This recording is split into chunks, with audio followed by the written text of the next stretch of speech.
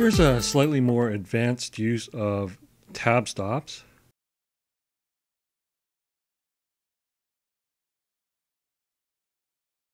So rather than using tab, tab, tab, tab all the way across, you can only you can make it so that you only hit tab once.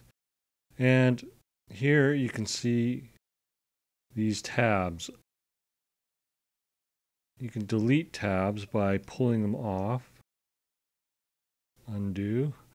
Or you can go to Format tabs and you can clear all. You'll notice that I'm only affecting the paragraphs that I've highlighted. These ones are unaffected because they're not selected. So to set the tab stops, I can click here and click here. So I can move the tabs visually. It's not quite as accurate,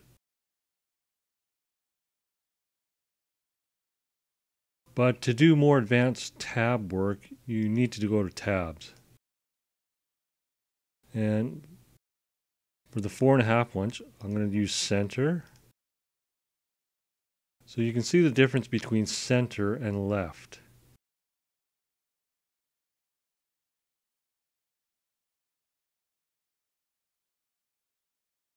I can also make a right tab, which you've seen before but this is in columns. So you can see how that affects that one.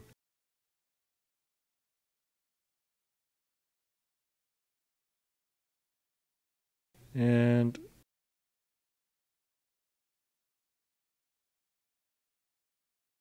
you can see the difference with center. So choose the tab stop that you want, left, right, or center, and select the number of paragraphs that you want it to affect. And you can delete by dragging them off. You can also delete using the tabs menu and clearing all. Remember when you enter something here and here, you need to press set. And that ends this quick lesson.